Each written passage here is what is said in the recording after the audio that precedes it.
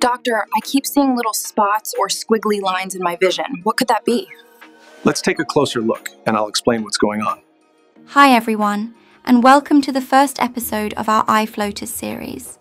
For the next three days, we'll be diving into everything you need to know about those mysterious little spots in your vision. Whether you've seen them or not, trust me, you'll want to stick around. So, have you ever looked at the sky or a bright background and notice tiny specks or squiggly lines moving in your vision? They seem to float around and can be distracting, right? Well, you're not alone.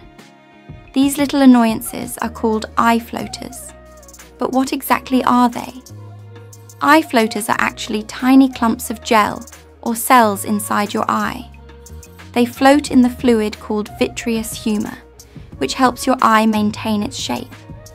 When the vitreous humor shrinks or changes, these little clumps can cast shadows on the back of your eye. And guess what? These shadows appear as floaters in your vision. Eye floaters are more common than you think. In fact, most of us experience them at some point in our lives. They can be harmless, especially as we age. But here's the thing floaters can sometimes signal an underlying issue. A sudden increase in floaters or flashes of light in your vision could be a sign of something more serious, like a retinal tear. It's important to remember that while floaters can be frustrating, they are usually harmless.